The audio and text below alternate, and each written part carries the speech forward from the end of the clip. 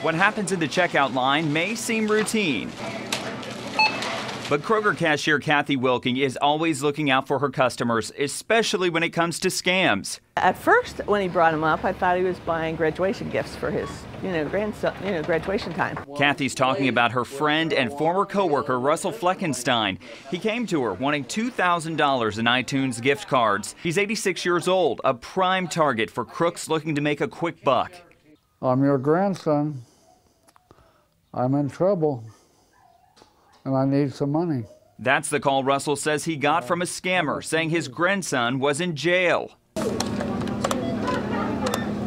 Kathy says it just didn't make sense. She kept asking questions. And he said, I can't say.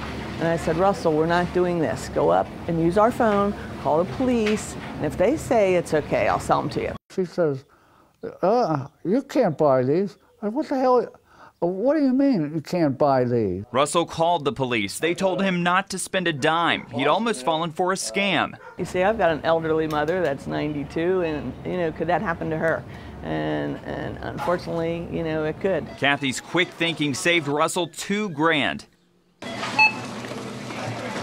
priceless good deed. Oh my gosh, Kathy, uh, God bless you. You, you really know what's going on in the world today.